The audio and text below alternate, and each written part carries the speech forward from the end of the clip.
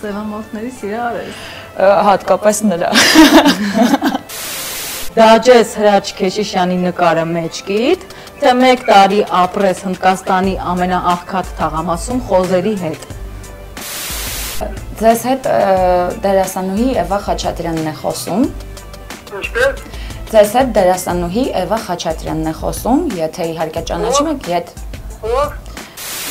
որովհետև ապագան իմանալը ինձ շատ կտխրեցնի։ Իսկ եթե կարդաս բոլորի մտքերը ու իմանաս մարդիկ ինչ են մտածում քո մասին, այդ ժամանակ ինձ ընդհանրապես կտխրես։ Բարձրախոսով եմ քո հետ խոսում։ Ինչ ծეხասնոտը։ Պետք է գրես կոմենտ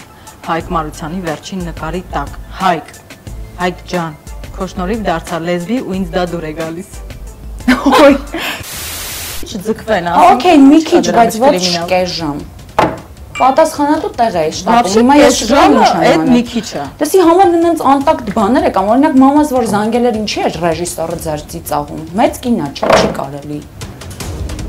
Կամ անդադ sense ձեռով եք անում ռոզին բան եք հուշում, այդ ինչ ասելու, անելու բանը։